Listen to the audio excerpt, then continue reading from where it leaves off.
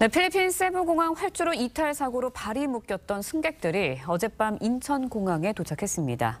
일부 승객들은 사고 당시의 상황은 혼란과 공포였다고 설명했고 현지 대응이 미흡했다고도 했는데요. 사고 여객기가 현재 세부공항 활주로에 남겨져 있어 정부는 현지에 도착해 정확한 사고 원인을 분석할 예정입니다. 황병준 기자의 보도입니다. 승객들이 여행 가방을 끌고 입국장을 서둘러 빠져나옵니다. 어젯밤 9시 50분쯤 필리핀 세부 공항에서 출발한 대체 항공편이 인천공항에 도착했습니다. 해당 항공편으로 귀국한 120여 명 중 비상 착륙 사고 여객기에 탑승했던 승객은 11명. 이들은 사고 당시를 떠올리며 혼란 그 자체였다고 말했습니다.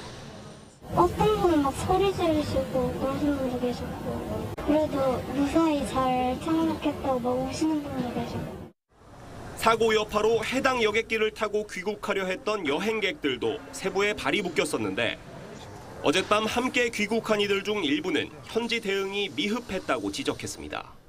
이제 상황을 모르니까 물어볼 거 아니에요. 근데 어느 순간 보니까 다 가버리고 필리핀 직원 4명만 있고 한국 사람이 단 한 명도 없는 거예요.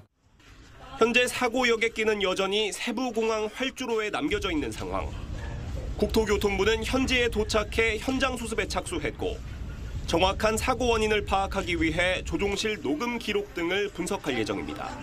TV조선 황병준입니다.